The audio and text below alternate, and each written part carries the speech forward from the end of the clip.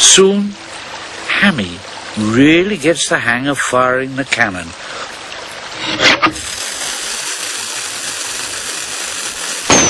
Oh, this is fun.